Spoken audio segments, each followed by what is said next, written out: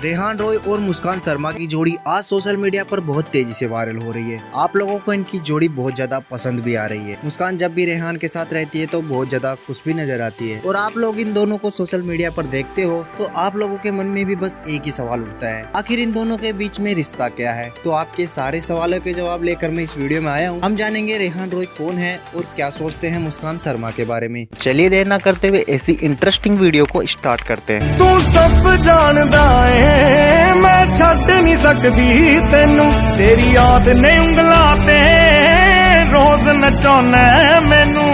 ਅਗਲੇ ਜਨਮ ਵਿੱਚ ਅੱਲਾ ਐਸਾ ਖੇਲ ਰਚਾ ਕੇ ਭੇਜੇ। ਮੈਨੂੰ ਤੂੰ ਬਣਾ ਕੇ ਭੇਜੇ, ਤੈਨੂੰ ਮੈਂ ਬਣਾ ਕੇ ਭੇਜੇ।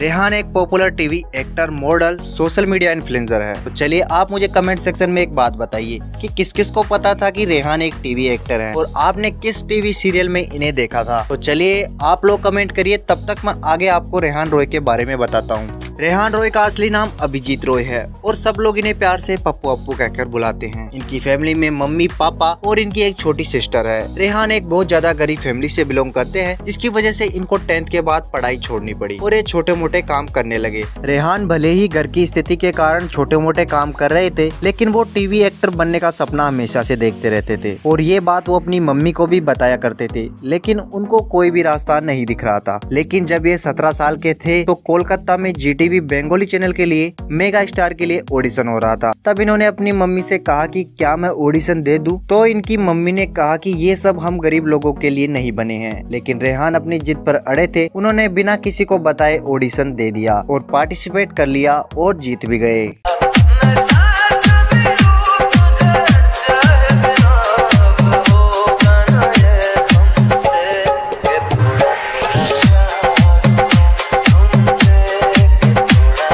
और जब ये बात उन्होंने अपनी मम्मी को बताया तो उनकी मम्मी बहुत ज़्यादा खुश हुई। तब से इनके एक्टिंग के रास्ते खुल गए। इसके बाद इन्होंने एक्टिंग सीखना स्टार्ट कर दिया। 2010 से इन्हें एक बंगाली सीरियल मिला और बंगाली सीरियल से इन्होंने अपना डेब्यू स्टार्ट किया इसका नाम था आदो बोदो सुंदरी। इसके बाद इन्हें बंगाली में ही एक फ़िल्म मिली आमानुस उसके बाद इन्होंने कभी पीछे मुड़कर नहीं देखा। उसके बाद सजदा तेरे प्यार में सावधान, इंडिया, इमोशनल अत्याचार, प्यार करदा इन गुमराह एंड ऑफ़ इनोसेंस फिर फायर्स मीरा नागार्जुन, थपकी तेरे प्यार की, एक विवाह ऐसा भी, अग्निफेरा गुड्डन तुमसे ना हो पाएगा, करुण संगिनी, बहु बेगम जैसे ना जाने कितने सीरियल किए।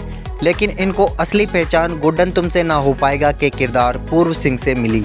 और इन्होंने विक्रम भट्ट की डायरेक्ट की हुई तंत्रा वेब सीरीज़ में काम भी किया। इससे साफ़ पता चलता है कि रेहान रॉय बहुत ही हार्ड वर्किंग और टैलेंटेड व्यक्ति हैं। ये छोटी सी जानकारी थी रेहान रॉय के बारे में।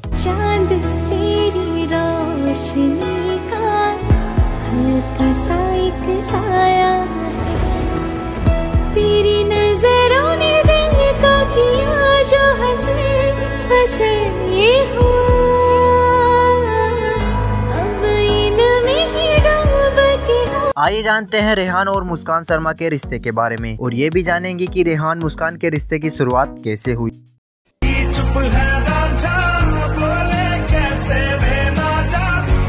तो रेहान और मुस्कान की मुलाकात एक मैक्चुअल फ्रेंड के थ्रू हुई, वो भी वीडियो बनाने के लिए। लेकिन रेहान जब मुस्कान से मिले तो बहुत ज़्यादा इनोसेंट और सच्ची लगी। और उन दोनों में बातचीत हुई और पहली ही मुलाकात में बहुत ज़्यादा दोस्ती हो गई। और इंटरेस्टिंग की बात यह है कि मुस्कान और रेहान की जोड़ी आप लोगों ने बहुत ज़्यादा पसंद भी। इसकी वजह से इन्हें दोबारा मिलना पड़ा और वीडियो बनाना पड़ा। दोनों साथ में वीडियो बनाने लगे और इनकी वीडियो वायरल होने लगी। इनकी केमिस्ट्री लोगों को बहुत ज़्यादा पसंद आने लगी। रेहान को मुस्कान बहुत ज़्यादा पसंद है। उन्हें वे अपना स्पेशल फ्रेंड और स्पेशल वुमेन मानते हैं। और वही मुस्कान को भी रेहान बहुत ज़्यादा पसंद है। लेकिन रेहान क्या कहते हैं मुस्कान के बारे में आप ये जानिए। आप लोगों में से बहुतों ने ये सवाल पूछा है तो इसका जवाब तो बनता है ना?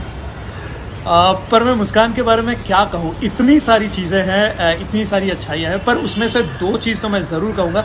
सबसे पहली बात है she so so so hard working खुद कई बार उससे कहा है कि जितना हार्ड वर्क तुम करती हो ना अगर उसका थोड़ा सा भी मैं कर पाऊँ ना it would be just amazing और दूसरी बात यह है कि शी टेक्स केयर ऑफ़ इनकी इन बातों से ये साफ़ पता चलता है कि रेहान के मन में मुस्कान के लिए स्पेशल फीलिंग है, लेकिन वो एज अ फ्रेंड है। उनके और मुस्कान के बीच कोई लव वाली फीलिंग नहीं है, वो मुस्कान को बहुत ज़्यादा मानते हैं, लेकिन एज अ फ्रेंड और रही बात रेहान के लव रिलेशन की तो वो एक जेसमिन रॉय को डेट कर रहे थे, लेकिन शायद अब इन दोनों के बीच में कुछ नहीं है। ऐसा र्यूमर्स की माने तो। और इनका इस टाइम ब्रेकअप भी हो चुका है। तो चलिए, अब इन बातों से ये साफ़ पता चल रहा है कि मुस्कान और रेहान के बीच में ऐसा कुछ भी नहीं है। वो सिर्फ़ और सिर्फ़ एक फ्रेंड है। अगर आप चाहते हैं कि रेहान और मुस्कान एक दूसरे को डेट करे और रिलेशनशिप में आए तो इस वीडियो को कर दीजिएगा एक लाइक और हमें कमेंट सेक्शन में कमेंट करके ये बताइएगा कि रेहान और मुस्कान की जोड़ी आपको कैसी लगती है। ये छोटी सी लाइफ स्टोरी थी रेहान रॉय के बारे में। हमेशा सोचते थे, जिससे शादी करेंगे ना